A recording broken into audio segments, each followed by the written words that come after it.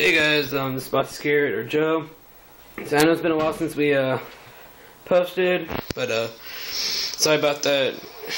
I've been busy with school and stuff. I mean, I just hit this not like literally, and I was just horrible. I know. Uh, yeah, thank you guys for watching this, and bye.